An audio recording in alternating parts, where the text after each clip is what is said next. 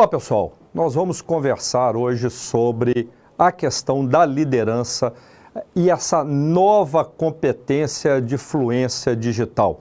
Na verdade, nós estamos falando, antes de mais nada, do entendimento do contexto que as nossas organizações daqui para frente estarão inseridas. É de se entender né, que cada vez mais os processos estarão digitalizados, bem como todos os produtos e a própria economia caminha para uma digitalização. Quando a gente fala da digitalização da economia, nós estamos falando da mudança de um estágio de uma economia baseado num conceito de escassez para uma economia baseado na abundância. E essa abundância é decorrente desta questão do uso intensivo da tecnologia da digitalização. Então, vamos entender primeiro esse contexto da mudança do estágio de uma economia, de certa forma tradicional, para uma economia exponencial. Vocês vão entender que nós temos seis Ds, tá, meus amigos? Seis Ds.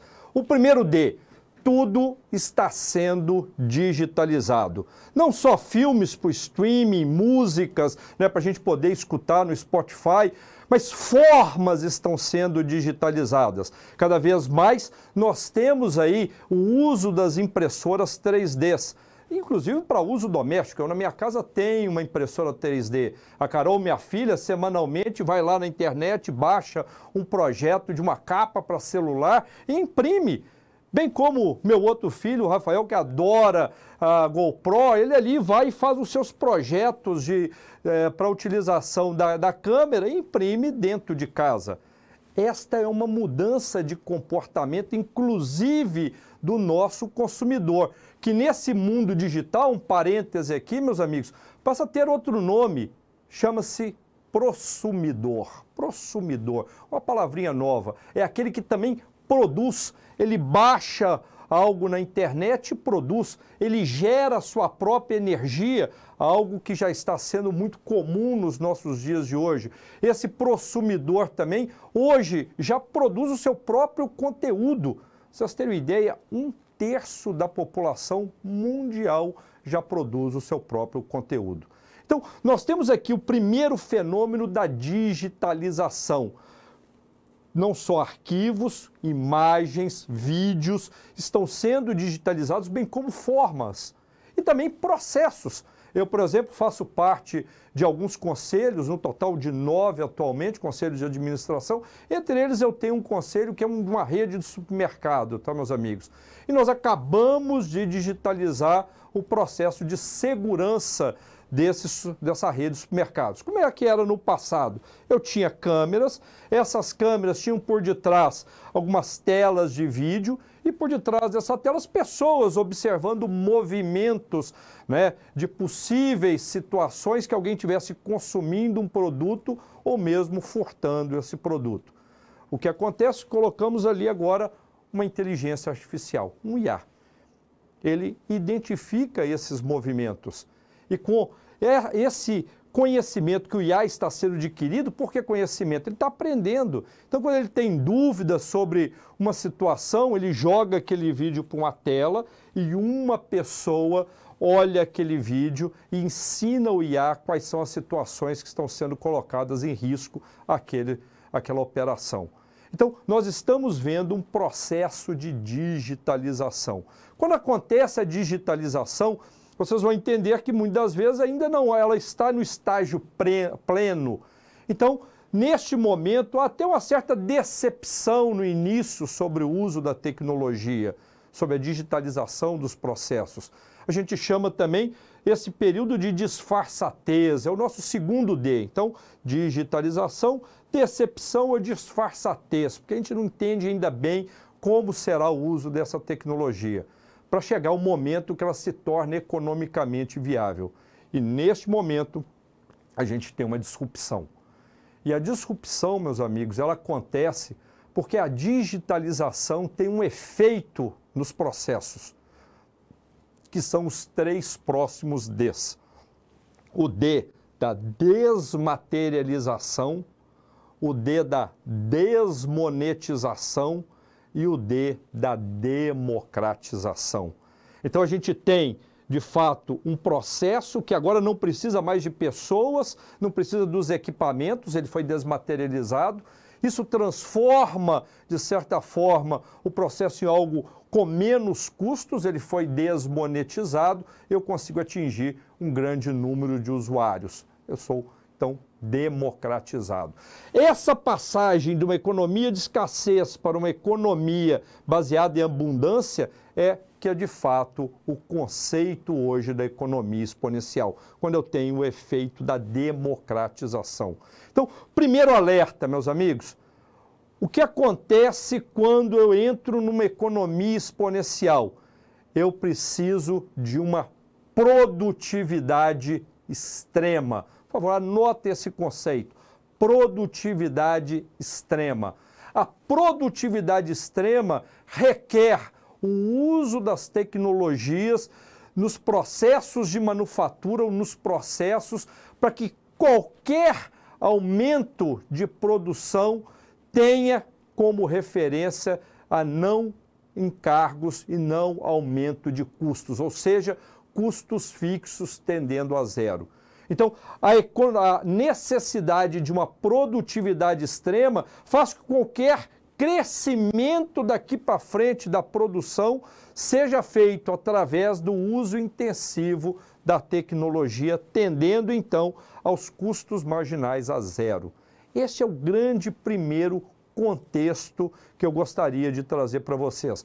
A mudança de um estágio onde eu tenho escassez para um estágio de abundâncias. A economia também, de certa forma, digital, requer, então, novas competências. Por exemplo, a competência de enxergar as mudanças antes que elas se tornem óbvias demais. E esse é o papel do líder. A capacidade agora de antevisão. O planejamento estratégico, meus amigos, passa a ser do futuro para o futuro. Não tem mais nada a ver com os eventos que aconteceram no passado, muito menos os históricos.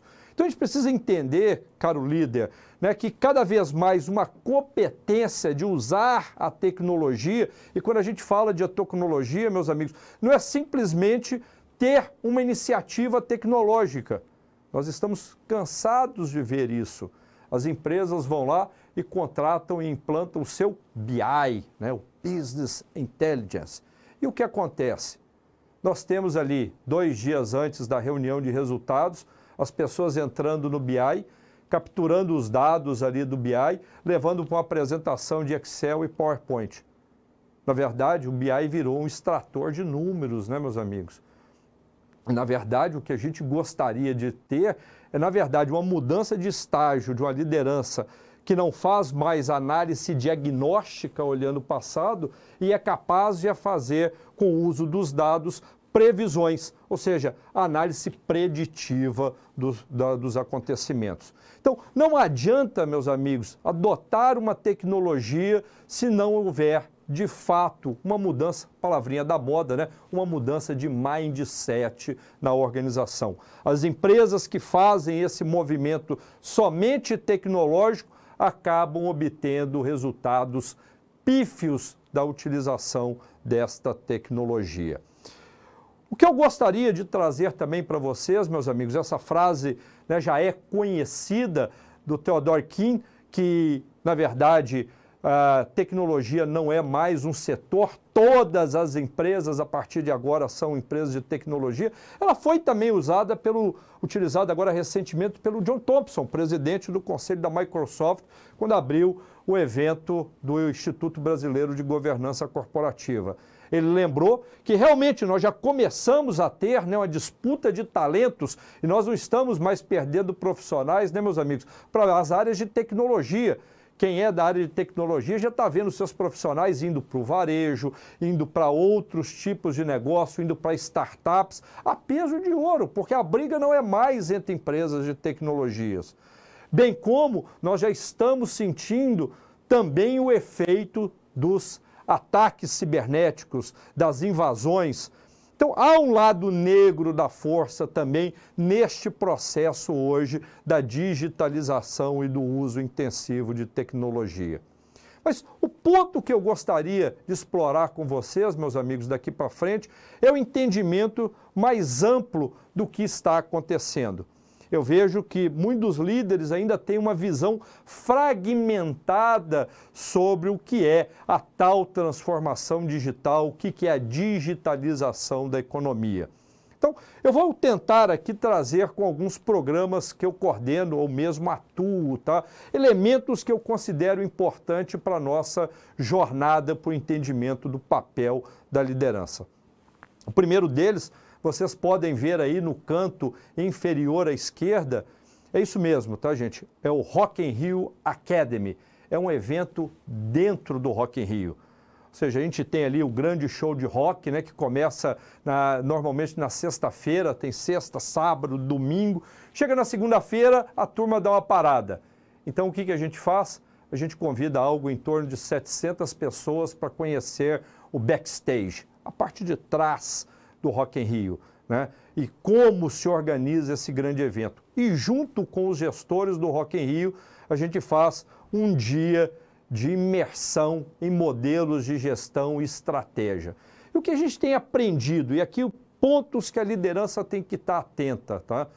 O Rock in Rio tem mostrado que para construir uma empresa que realmente seja admirada, que não tenham clientes, tenham fãs, ela precisa ter uma obsessão pela inovação. É, é muito comum quando eu estou lá com a turma do Rock in Rio, eles dizem, esse será o melhor Rock in Rio das no, da nossa história. E o próximo será ainda melhor. Por quê, meus amigos? Eles se colocaram o desafio de ser uma business experience, uma empresa de experiências. E quando a gente fala de uma empresa de experiências, tá, meus amigos, não é só do usuário final, do cliente, mas também dos colaboradores. É, é importante, sim, um customer experience, mas no mesmo nível a gente precisa ter um employee experience, um valor para também para os nossos colaboradores. Então o Rock in Rio tem mostrado qual a importância dessa obsessão pela inovação centrada no cliente e como se tornar uma empresa de experiências daqui para frente torna essa organização algo com uma vantagem sobre os demais competidores. No canto superior à direita, né, ah, perdão, canto superior à esquerda, vocês estão vendo aí a NRF, o Big Show do Varejo, o National Retail Federation. É um evento que já acontece há 108 anos, meus amigos. Ou seja, 108 anos o varejo do mundo inteiro se reúne em Nova York para poder conversar sobre a lojinha. Né? E, na verdade, esse é um evento sobre visões, meus amigos. O último, eu venho acompanhando os últimos 15 anos desse, desse encontro, uh, e o último, que foi presencial 2020, né? Nós tivemos a oportunidade de discutir dois pontos que eu gostaria também de destacar aqui para vocês. O primeiro, a utilização cada vez maior das empresas de dados para entender a jornada do cliente e reduzir atritos nessa jornada. E o segundo, que essa jornada deverá empoderar os nossos clientes daqui para frente. Então, o conceito da omnicanalidade, o omnichannel, que é a integração dos canais, ele passa a ser uma grande arma para as organizações daqui para frente. E o que a, a NRF tem mostrado, meus amigos? Que as empresas precisam também estar à frente dessas mudanças, precisam antecipar estas transformações. A gente costuma superestimar o uso e as mudanças no curto prazo e subestimar os impactos da mudança e das tecnologias no longo prazo. Então, esse olhar sobre o que está para acontecer. No canto superior à direita, Aí sim, a ponte é conhecida, eu tenho feito missões ao redor do mundo buscando esses ecossistemas de inovação, mas particularmente eu gosto muito do Vale do Silício. Eu levei várias missões, sejam com empresários, empresas, né, em grupos fechados ou mesmo conselheiros, para conhecer o que está acontecendo lá, principalmente antes da pandemia. E nós podemos, né, meus amigos, observar como esta organização ágil e capaz de se adaptar passa a ter um diferencial em relação às nossas empresas tradicionais. Isso requer líderes que sejam capazes de operar né, no ambiente de autocomando e autocontrole, também uma mudança de contexto. Então entra aí a figura dos squads, o desafio da experimentação, o conceito de produto mínimo viável. Eu, eu adoro escutar eles dizendo, né? É melhor feito do que perfeito. Se eu não tiver vergonha de um produto que eu lancei há quatro meses, provavelmente eu lancei de forma tardia. Então, esta agilidade, bem como esta possibilidade de dar mais autonomia para as equipes, faz parte desse ambiente. Eu tenho coordenado, nós estamos aí na quarta, indo para a quinta edição de um programa para conselheiros digitais, tá, meus amigos? E esse programa é exatamente tentando mostrar como é importante, a partir de agora, a gente mudar o nosso modelo de tomada de decisão. Ou seja, aquele modelo de certezas, de análise de riscos muito bem feito, onde eu tinha a possibilidade de fazer uma avaliação né, de retorno sobre investimento, lembra a TIR, o VPL ou mesmo um payback? Não é mais possível, meus amigos. As métricas que nós estamos utilizando agora são outras. Nós estamos usando o churn, nós estamos usando o United Economics, nós estamos usando a capacidade de dar tração e crescer, o NPS, né? O Net Promote Score, sobre a satisfação dos clientes. E nós estamos vendo que não há mais certezas em alguns processos. E cada vez mais os conselheiros têm que estar preparados para esse novo mundo. Por fim, outro programa que eu adoro participar, eu tenho sido convidado a ser professor da Singularity eh, no Brasil. A Singularity, como vocês sabem, né, provavelmente é a escola de hoje de negócio mais disruptiva do mundo. É um evento entre a NASA e o Google e que tem nos mostrado que o uso das tecnologias exponenciais daqui para frente farão total diferença. Mas não só o uso delas, meus amigos, mas que as organizações precisam ter daqui para frente um propósito massivo, transformador que essa capacidade de escalar rápido e atingir um número enorme de pessoas, lá, o, o, conceito que eles têm de um moonshot, né, uma meta extremamente desafiadora, é como eu faço para atingir um bilhão de pessoas, ter realmente uma solução escalável. Por que, que eu quis trazer esse recorte de programas para vocês, meus amigos? Porque normalmente quando eu retorno, né, eu espero passar aí uma, duas semanas, eu costumo ligar para um ou dois participantes e perguntar para eles: e daí? Qual foi a, o grande insight? Qual foi a, a mudança que você promoveu a partir do nosso encontro ou da, das nossas discussões? E eu tenho sentido visões parciais sobre o entendimento do que está acontecendo. De novo, do contexto, tá, meus amigos? Deixa eu tentar explicar isso com uma metáfora. Eu adoro essa metáfora de homens cegos que foram conhecer um elefante.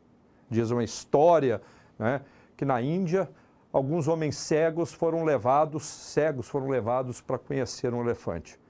Aí o primeiro homem tocou no corpo do elefante e disse: Olha, mas esse elefante se parece com uma parede.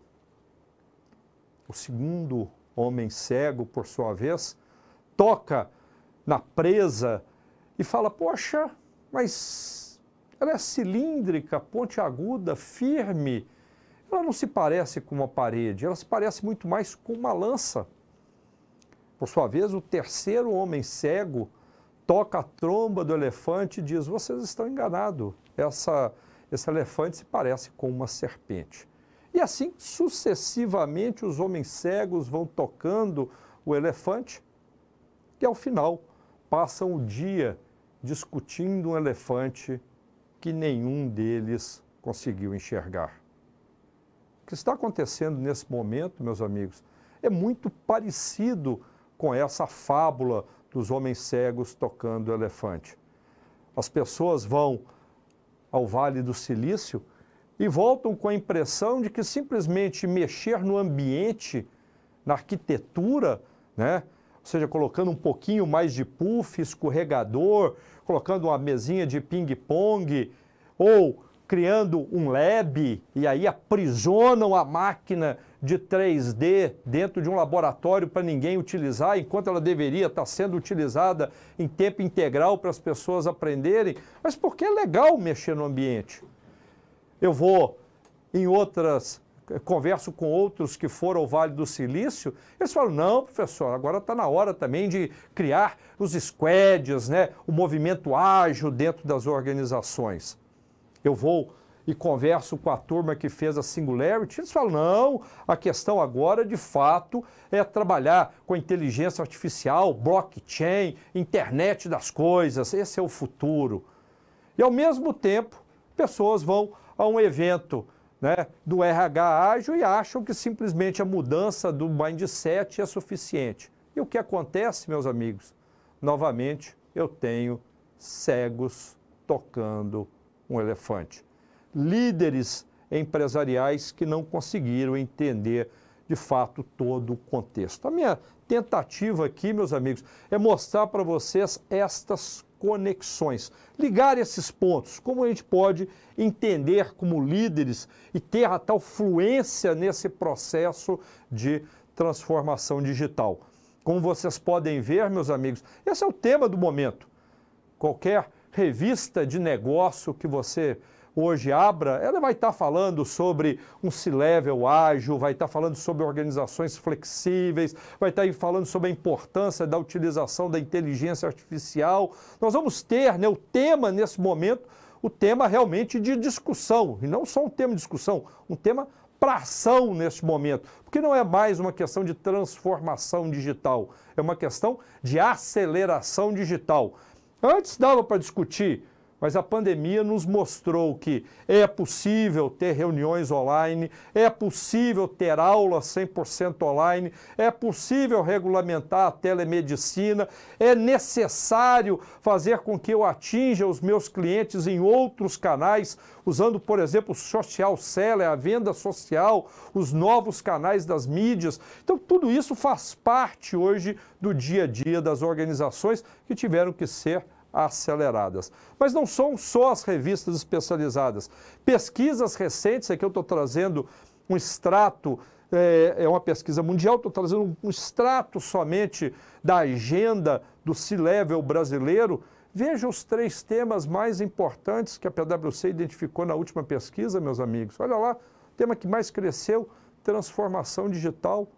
Olha o segundo, liderança e desenvolvimento de talentos. Olha, Terceiro, segurança cibernética.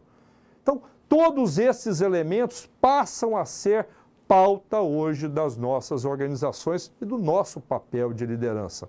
Nós também temos visto uma outra pesquisa, né, o que aconteceu e o que muda daqui para frente, né, com a, depois da pandemia, pesquisa recente da Deloitte, vai mostrando né, que a gente sai de um foco de alta performance para poder ter uma capacidade de responder à mudança, senso de alinhamento, para que a gente tenha muito mais hoje foco nas pessoas, no cuidar, no propósito, políticas eh, relativas e restritivas para um trabalho cada vez mais colaborativo, conjunto. Então há uma, uma mudança em, nesse momento nas organizações em curso. E o que isso acarreta para nós, como gestores, meus amigos? Primeiro, há uma mudança forte no pensamento estratégico. Esse é o primeiro ponto que eu gostaria de trabalhar com vocês. Olhem esta minha imagem. Eu vou tentar aqui fazer uma, um resgate do pensamento estratégico dos últimos 60 anos, tá, meus amigos? Prometo ser bastante rápido. Se vocês olham ali no início, na esquerda, vocês vão ver que o primeiro conceito da estratégia, ainda da década de 60, quando Harvard de fato transformou né, a ciência da administração em uma disciplina, a ideia de, da estratégia como uma ferramenta, e anotem isso, para vencer a concorrência. Esse era o ponto principal da ideia da estratégia: vencer a concorrência.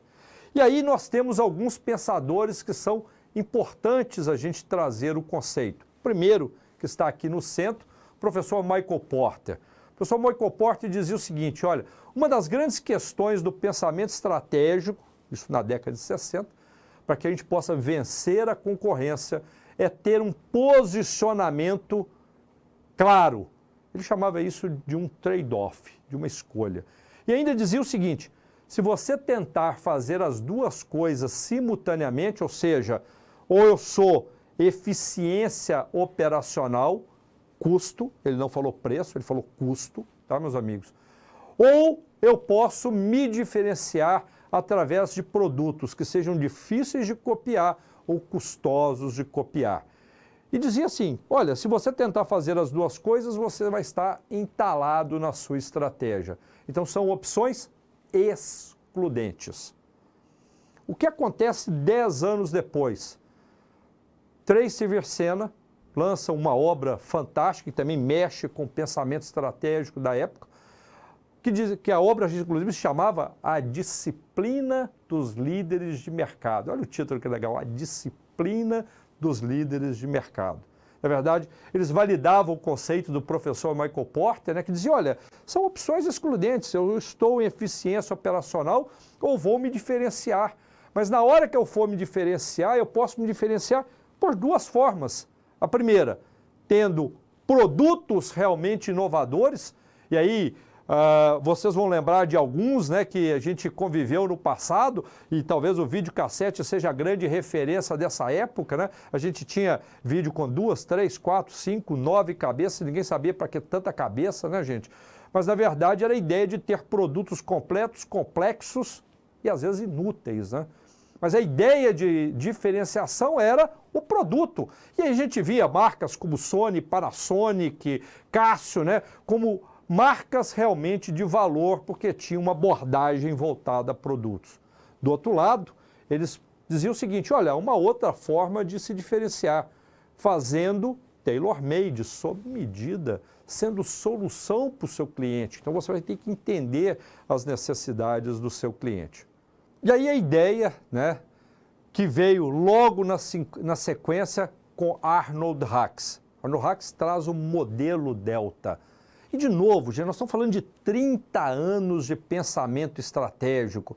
De novo, opções excludentes. Veja essa linha de corte na minha, no meu slide, meus amigos. Ou eu estou numa, numa lógica de eficiência operacional, ou aí eu tenho a ideia de intimidade, solução, melhor produto, mas hacks traz um outro conceito, que se eu conseguir fazer algo que seja de grande domínio do mercado, e ele tentava explicar aqui a estratégia da Microsoft, pessoas produzindo cursos para PowerPoint, Excel, ou mesmo softwares para o DOS, né? eu faria uma blindagem, né? um lock-in dentro desse mercado e faria um lockout dos meus concorrentes. Então, o que a gente tem novamente 30 anos, quase 40 anos, na verdade, de um modelo de estratégia baseado em vencer a concorrência. O que acontece na entrada do século, meus amigos? Dois queridos amigos professores do INSEAD, né, Infantane Blue, lançam uma obra que, de certa forma, não só mexe, mas revoluciona o pensamento estratégico. Eu acredito que muitos de vocês leram esse livro chamado Blue Ocean Strategy, a estratégia do Oceano Azul. Os professores foram muito felizes com a metáfora do Oceano Vermelho, porque eles mostraram o seguinte: todo aquele pensamento estratégico né, levou a práticas, por exemplo, de benchmarking. Lembra disso, gente? Copiar o que o outro faz e dar uma pequena melhorada, mas copiando, né, fazendo com que a gente tenha, na verdade, um conceito de convergência estratégica. E quando a gente tem uma convergência estratégica, amigos, eu tenho uma tendência à comoditização de produtos e serviços. E aí o que eles chamavam do mar vermelho é esse mar né, da briga entre os concorrentes, do sangue decorrente dessas brigas. E eles convidavam as empresas a pensarem numa inovação de valor. Então anote aí, se na primeira escola a ideia era vencer a concorrência, nessa escola a lógica é tornar a concorrência irrelevante. Tornar a concorrência irrelevante. E o que é interessante na proposta dos professores é que a inovação de valor, meus amigos, acontece quando simultaneamente você tem uma redução dos custos, ou seja, mais eficiência e um aumento de valor para o cliente. Vocês lembram que durante quase 40 anos a gente dizia o pior lugar para se estar é aí no meio. E a gente está dizendo que agora a inovação de valor acontece exatamente nesta posição, mas com uma pequena mudança. Primeiro, não é satisfação, não é mais atributo. Valor para o cliente, meus amigos, é sucesso do cliente. E para você poder chegar nesse ponto de inovação de valor, eles tinham propostas bem sofisticadas para a época. Por exemplo, reduzir, reduzir tudo aquilo que o cliente não considera importante ou que atrapalha a sua jornada e gera atrito. E eliminar tudo aquilo que o seu cliente não estiver disposto a pagar por ele. Então a gente tem uma mudança aqui forte de pensamento estratégico. O que acontece na sequência, meus amigos? A gente tem Osterwalder, e aí muitos de vocês né, já, já viram lá no Business Model Generation, né, o famoso canvas da, da, de modelos de negócio. É uma pena, porque muitos olharam somente para o canvas. Na verdade, a ideia né, que Osterwalder trazia eram inicialmente duas grandes mudanças do pensamento estratégico. A primeira delas, que não dá para fazer uma oferta de valor única para o mercado, que eu precisaria agrupar agora os meus clientes e fazer algumas escolhas nesses agrupamentos. E não é agrupar por sexo, idade, região geográfica ou capacidade de pagamento ou porte, mas de fato agrupar por características de compra. E a partir de que esses clientes fossem agrupados, meus amigos, eu deveria mudar a minha organização numa concepção de plataformas de negócio.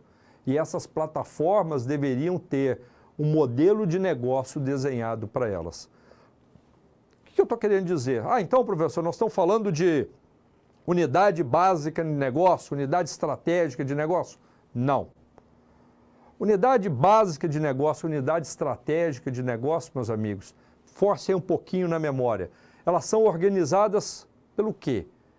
Por características de produtos similares, por modelos de processo ou por regiões geográficas. Lembra? Filial Nordeste, operação de longos, né, o meu grupo de produtos para o agronegócio. As plataformas de negócio, elas mudam a lógica de se organizar por grupos de clientes. E isso é uma grande sacada. Então vamos pegar, um, por exemplo, um banco, né, meus amigos? Eu tenho ali a operação de varejo, é uma plataforma de negócio. Depois eu tenho uma operação para uma turma mais endinheirada, seja um programa personalité, seja um Van Gogh, não interessa. Eu tenho ali, na verdade, uma outra forma de entregar valor com uma proposta diferente. Tem o corporate, que é um pouco acima desse grupo, mas ao final, né, meus amigos, a estrutura é a mesma. Eu só organizo como eu entrego valor a esses grupos. Então, a ideia nessa escola de negócio era que organizássemos as empresas em plataformas de negócio e construísse modelos de negócio baseado a estas necessidades, ao valor entregue e às características de consumo destes, desses clientes consumidores. O que muda, meus amigos, logo na sequência? Estamos chegando agora ao fim tá? dessa jornadinha do, da evolução do pensamento estratégico. Vem o Ries e fala do Lean Startup, que agora nós temos que ter, e a lógica dessa escola era a inovação como um fluxo contínuo. A capacidade, de fato, de entender as necessidades dos nossos clientes mapa de empatia. Falava-se de ter um design thinking mindset, de pensar design, a facilidade, pensar também na, na, nos problemas dos nossos clientes para tentar encontrar as soluções, fazer produtos mínimos viáveis, experimentar, prototipar. E aí nós temos uma grande influência desse pensamento que é a inovação como fluxo contínuo ou a estratégia como um modelo de design. O que muda, meus amigos, na economia exponencial que eu acabei de falar com vocês? Entra em cena as organizações exponenciais, que não têm mais interesse em vencer a concorrência, muito menos torná-la irrelevante. A lógica dessas organizações é mudar setores inteiros. E essas organizações, meus amigos, elas têm uma lógica de se organizar completamente diferente. Vejam, equipe sob demanda. Nós já temos hoje plataformas de mão de obra que podem fazer não só projetos gráficos, como também podem fazer programação. São plataformas que vendem serviço. A capacidade de, de mobilizar os seus os seus clientes que são apaixonados pela marca e usar promotores, usar o conceito né, do social seller para poder vender comunidades e multidões, usar dados para tomar decisões, algoritmos, os ativos que estão subutilizados no mercado. Nós já vimos né, empresas é, mobilizando carros que estão disponíveis, apartamentos que estão fechados, mas a gente já está vendo, é, já tem o Airbnb de piscina, já tem o Uber de helicóptero, de avião, de ônibus. Nós já temos também é, empresas que compartilham bolsas e até joias, meus amigos. Os ativos subutilizados podem ser mobilizados. E quando a gente fala do, de um disruptor meus amigos, que consegue trabalhar com esse modelo não só para fora, como para dentro, vocês estão vendo no slide, né? Olha aqui como é que eles tratam a experimentação, tecnologias sociais, a ideia de criar interfaces ou mesmo dar mais autonomia para os funcionários. Essas empresas disruptivas, elas têm um olhar e elas adoram setores que apresentam três características. Eu gostaria que vocês anotassem. Empresas que perdão, setores que ainda têm altas margens, os disruptores adoram esses setores. Setores aonde os seus consumidores, clientes não são apaixonados pela sua, pelas empresas que estão fornecendo. E por fim, setores que ainda têm altas barreiras de entrada ou são regulamentados. Eles fazem uma bagunça quando entram nesses setores. Aqui, a gente pode ter uma ideia de que as empresas exponenciais, por essa forma de agir, não são simplesmente 10% melhor, meus amigos, que as empresas tradicionais. Elas são 10 vezes mais rápidas, 10 vezes mais produtivas, 10 vezes mais amigáveis no trato, melhoram a jornada do seu cliente e conseguem entregar muito mais valor. Aqui, esse material vai ficar com vocês, tá, meus amigos? Só um resgate né, dos principais autores em cada um dos momentos desse processo de evolução. Mas o que eu queria trazer e deixar registrado nesse primeiro momento para vocês, meus amigos, que nós líderes precisamos entender o seguinte: esse novo contexto requer que a gente entenda dois movimentos. O primeiro, que há, que é esse da esquerda, um ponto de disrupção da, desta economia exponencial. Se vocês olharem essa curva que eu mostro aqui para vocês, meus amigos, eu vou pegar um caso bastante batido, mas ainda muito didático, tá? O Uber, em menos de cinco anos, deixou de ser uma startup e mudou a matriz de transporte urbano no mundo. Mas num movimento único, ascendente, veloz, no momento que chega aquele ponto da disrupção, que é aquele ponto que se torna viável a tecnologia e você tem um ingresso grande de usuários, uma democratização, ele causa caos, mudanças dentro do ambiente e surpreende todo o mercado. Isso é um ponto de disrupção. Para combater um ponto de disrupção ou empresas exponenciais, eu preciso o quê, meus amigos? Agilidade. Agilidade. Agora, a pandemia nos mostrou também outro cenário. E aqui não quero discutir com os amigos se o mundo é VUCA ou se ele é BANI, tá, meus amigos? Usa o acrônico que você quiser, mas que ele é complexo, ele é instável, ele é cada vez mais frágil nos seus conceitos, incapaz de prever o que vai acontecer, ambíguo, isso é fato. E quando a gente tem aí um ponto de bifurcação, porque esse movimento rápido ainda, ainda é estável, tá, meus amigos? Mas quando você tem uma instabilidade no processo e que causa aí uma mudança abrupta de trajetória, eu tenho um ponto de bifurcação. Então não adianta ser somente ágil, meus amigos. A gente tem que ser adaptativo. Ágil e adaptável ágil e adaptável. O negócio está tão veloz, gente, que não está dando mais para falar essa palavra ágil e adaptável. Eu já inventei uma palavra para isso. A partir de agora é adaptável. Tá? A gente tem que ser capaz de abraçar esse mundo com essas duas grandes vertentes desse momento.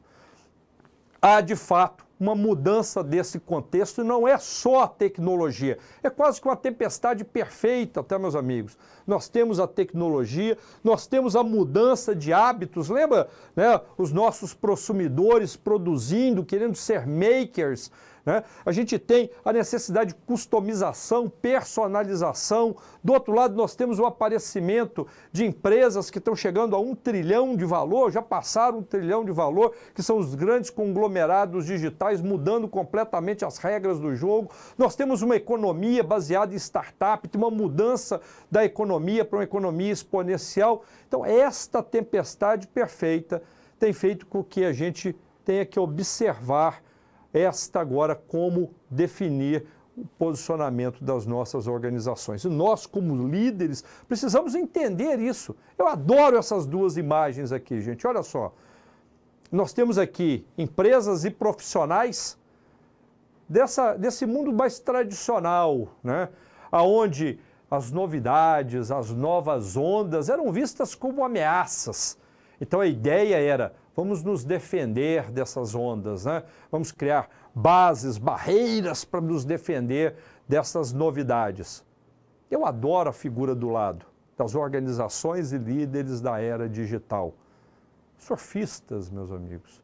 O que o surfista faz? Ele está lá paradinho, esperando a onda, né? A onda não é uma adversária, a onda é uma oportunidade. No momento que a onda vem, ele vai lá e surfa a onda e no momento que ela está terminando e já virando né, espuma, e todo mundo está ali agora aproveitando, o que, que ele faz? Ele já vai para nova oportunidade, para nova onda. A capacidade de enxergar as mudanças antes que elas se tornem óbvias demais. A grande questão, amigos, que não adianta mais simplesmente continuar fazendo bem feito o que a gente está fazendo ou nós de fato entendemos essa mudança e corrigimos, ou os disruptores nos tirarão do jogo. E esse é o papel da liderança daqui para frente: ter coragem e resiliência para conseguir entender essa, esse contexto e operar dentro desse contexto. Na verdade, nós estaremos né, dentro desse mundo que cada vez mais se apresenta, de novo, não quero discutir se ele é BANI ou se é VUCA, a interpretar este contexto daqui para frente. Esse é o grande papel do líder. E eu, eu, digo que nossas organizações, ou nós líderes, estamos diante de uma mudança de uma economia que era lenta, de um mercado que era simples, que era previsível, para algo que está acelerado, complexo e cada vez mais ambíguo. Estamos diante de um dilema. Eu gosto de dizer que estamos diante do dilema da esfinge. Né? Decifra-me ou te devoro. Profissionais que não entenderem o seu papel como líderes ou empresas que não conseguirem decifrar esse novo mundo, desculpa, gente, game over. E qual é este dilema que nós estamos enfrentando. É o que a gente chama o paradoxo da gestão. Como vocês sabem, paradoxos são duas verdades que, de certa forma, se contrapõem, mas que são, às vezes, complementares. Como dizia o poeta, o amor é dor que arde e não se sente. Isso é um paradoxo, meus amigos. O paradoxo tem a ver, né, e quando eu entro, às vezes, nas organizações, quando os gestores, os líderes me dizem, professor, eu quero uma empresa sem hierarquia, mas com forte liderança. Eu quero uma organização onde a gente tem ainda uma avaliação de desempenho individual, que as pessoas sejam medidas e recompensadas, né, ter a meritocracia por aquilo que contribuem.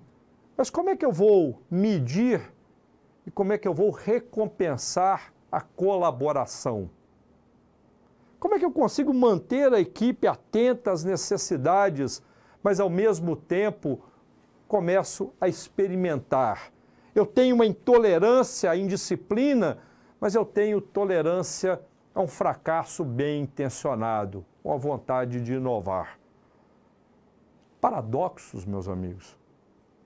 E a grande questão é que nós estamos nesse momento num processo de transição, onde a gente tem um paradigma de gestão que está validado. E nós temos um novo sendo construído e a grande questão é que esse paradigma antigo, ele funciona quase que como um paradigma científico. O que é um paradigma científico, amigos?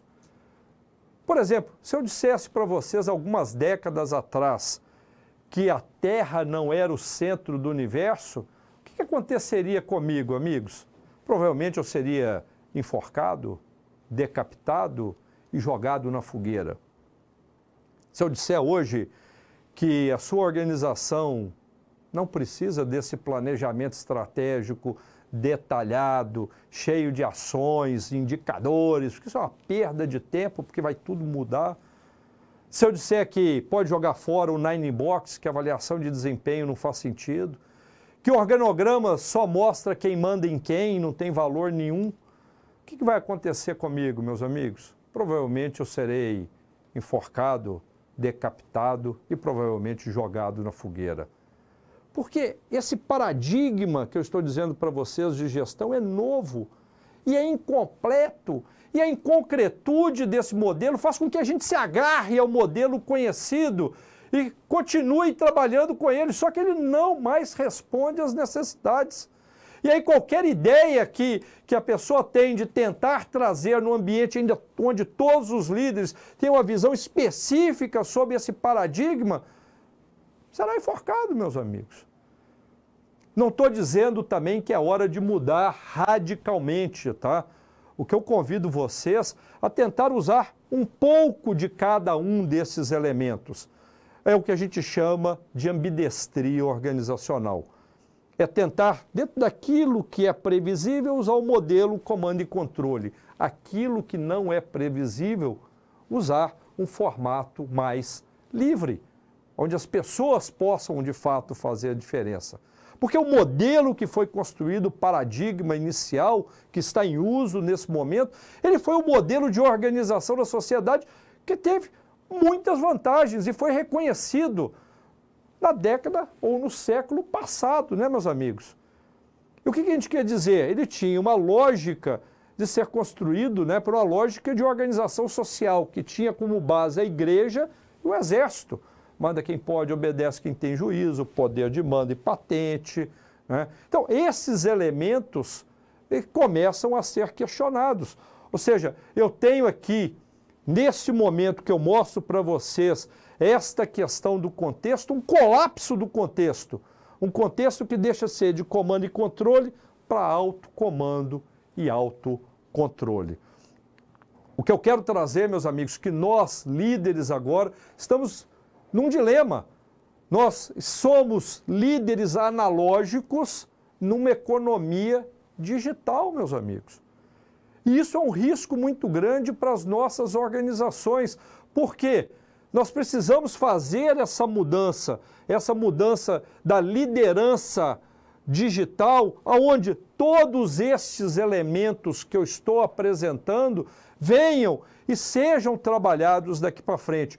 Porque se eu tentar usar o mesmo modelo numa nova realidade, provavelmente vai dar errado. Eu adoro essa imagem do Filipão, né, meus amigos? O cara foi lá em 2002 e trouxe o caneco, gente. E era o mesmo líder. Ele usou a mesma técnica, as mesmas competências. Ele fez tudo que ele sabia em 2014 e foi a maior decepção. Custo de não entender que o sucesso do passado hoje não traz mais resultados daqui para frente é a grande entendimento do nosso papel como líderes organizacionais. Então, o que eu gostaria, para finalizar, tratar com vocês, tá, meus amigos? Eu gostaria de dar uma bússola para vocês. Eu gosto dessa frase de Peter Drucker, como nós falamos de uma tempestade perfeita, né, meus amigos? Que estamos viajando por um território completamente desconhecido, onde velhos mapas e bússolas provavelmente se tornaram inadequados e até mesmo perigosos. Então, qual que é a bússola que eu gostaria de trazer para vocês. Tá? A bússola da liderança adaptável, né? que é capaz de ser ágil e, ao mesmo tempo, adaptativa. Primeiro elemento, meus amigos, um propósito. Isso, para você se tornar uma business experience, não adianta mais você querer ser a melhor empresa do mundo, a benchmark em tudo que faz você terá que ser a melhor empresa para o mundo. E não é bobagem, tá, meus amigos? O tema ISD vai impactar as nossas empresas. Nós temos, na verdade, um capitalismo de stakeholders. E se não foi por convicção ou por oportunidade, neste momento será por obrigação. Então, o propósito passa a ser o nosso norte como líderes. Segundo, nós temos que estar centrados no cliente. De fato, construindo produtos e serviços com base a esses clientes. Não simplesmente fazendo pesquisa de satisfação ou mesmo focus group. Pense na sua organização. Comece pegando aquelas pessoas que são obcecadas pelo cliente, crie um comitê interno com elas. Depois crie um comitê ou um conselho de clientes. Se aproxime desses clientes, porque isso vai fazer toda a diferença daqui para frente na entrega do seu produto ou serviço. Organize a sua empresa por equipes pequenas, autodirigidas, multifuncionais, interdepartamentais, diversas, porque a partir daí você vai ter a capacidade de inovar. As squads, e bem como os outros frameworks e artefatos que a metodologia ágil nos mostra que são importantes.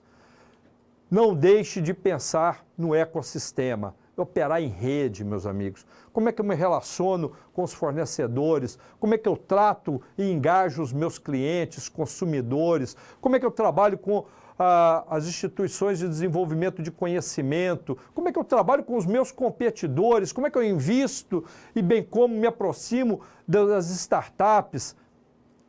Operar nesse ecossistema daqui para frente se relacionar com esse ecossistema faz toda a diferença no papel da liderança. Temos que ter cada vez mais a capacidade de entregar valor e entregar experiências para os nossos consumidores e clientes. Quando a gente fala de valor, sucesso do cliente. Quando eu falo de experiência, não estou falando só do UOL, tá, meus amigos? Porque isso é muito comum, né? Eu olho, por exemplo, a cidade das experiências é Vegas, o lugar de experiências é a Disney, o show de experiências é o Rock in Rio. Mas experiência, meus amigos, começa com uma jornada sem atrito e personalizada. Se você conseguir remover os atritos, você já está entregando uma experiência fantástica para o seu cliente. A inovação, de fato, como algo contínuo nas nossas organizações. Esta é a verdadeira vantagem competitiva, a, capacidade de se reinventar, de renovar, seja portfólios, modelos de negócio, estruturas organizacionais ou a sua própria competência como líder daqui para frente. Uso intensivo da tecnologia. Nós dissemos, nós estamos buscando uma produtividade extrema. É a única forma de competir. Não existe mais projetos sem uso de tecnologia. E, por fim, comunicação transparente e radical. Num capitalismo de stakeholders, precisamos ter, de fato, a capacidade de conversar com todos esses públicos ou pessoas que são atingidas pelos nossos negócios. Esta é a bússola da liderança. Eu gostaria também de trazer para vocês um recorte, meus amigos, das últimas competências que eu acho importante a serem trabalhadas nessa economia exponencial. São poucos elementos que eu considero importante para a gente poder finalizar e quase que trazer um pequeno resumo para vocês. Né? Cada vez mais os processos serão hiperdigitalizados. Precisamos, de fato, juntar os nossos talentos, trabalhar com empatia. Né? A Covid simplesmente acelerou todo esse processo, fazendo com que a gente precise não só trazer velocidade, mas uma capacidade de adaptação. O que vem mostrando que são as competências desse líder do futuro, meus amigos, tem a ver que como nós vamos de fato trazer aí elementos como resiliência, visão do futuro, a capacidade de criar ambientes colaborativos, humanizar, humanizar, meus amigos. A tecnologia permite humanizar, porque você não tá, você pode usar a tecnologia pelo menos para personalizar, para poder ter um relacionamento melhor com o seu cliente. Então, há uma grande mudança em curso. Eu gostaria de terminar a nossa apresentação com essa imagem. Eu não sei se vocês todos conseguem enxergar esse dálmata que está aí na imagem. Alguns já conseguem enxergar logo de cara, alguns demoram um pouco mais, mas já estão enxergando. Né? Tem ali a cabeça, a pata, tem a sombra até de uma árvore, né, meus amigos? Ah, mas o interessante que quem está vendo não consegue mais não ver o dálmata. Eu não esperava aqui nessa uma hora que a gente pudesse de fato cobrir e mostrar para vocês todo o desafio da liderança, mas que despertasse vocês talvez uma imagem ainda um pouco é, não precisa, turva, mas não dá mais para não ver o que está acontecendo. E aí, uso essa frase do Einstein, que a mente que se abre a uma nova ideia jamais voltará ao seu tamanho original. Espero que tenha provocado vocês e que tenha deixado aqui a mensagem de que o seu papel como líder precisa mudar. E nós estamos aí à disposição de vocês. Obrigado a Thomson Reuters pelo convite de estar aqui e de poder compartilhar um pouco das minhas reflexões com um grupo tão seleto.